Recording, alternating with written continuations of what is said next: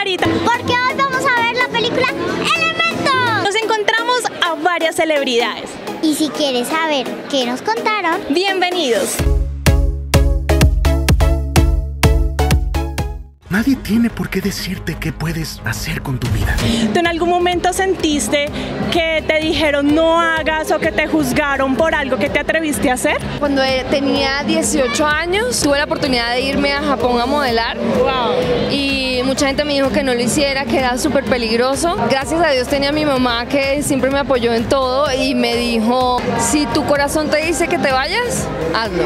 Y fue una experiencia maravillosa. Estaba estudiando eh, nueve semestres de ingeniería de sistemas y yo dije, no, yo no quiero ser ingeniero de sistemas, yo quiero los medios de comunicación, yo quiero ser periodista, yo quiero ser actor y dejé todo tirado y me vine por mis sueños aquí a Bogotá.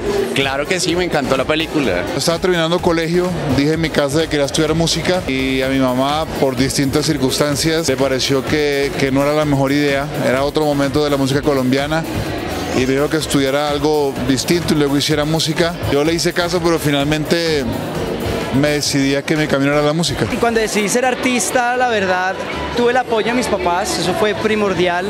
Pero creo que eh, la sociedad se encarga como de decirte que no, que hay que estudiar otras cosas que de pronto sean más serias o que representen, digamos, un capital mucho más importante.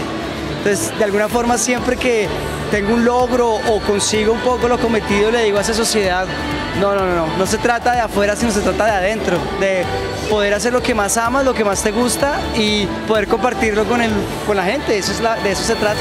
Trato de seguir los pasos de mi padre, pero nunca me pregunté qué quería hacer yo. ¿cuál escena te hizo recordar algo? La protagonista hizo la, la jarra de vidrio.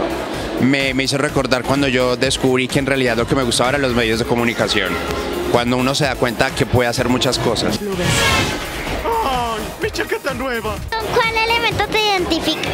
Con agua, porque me encanta fluir, me encanta expresar sentimientos. Wade, el protagonista, era un tipo que, que perseguía sus sueños. Yo soy mucho fuego y, y soy llorón como el agua. Además el fuego es pasión, es amor, es todo, es rojo. Pronto cuando el fuego se pone muy bravo, recordé a cuando mis hijas no me hacen caso. No, yo creo que el agua. Yo no soy tan llorón, pero sí tengo esa sensibilidad.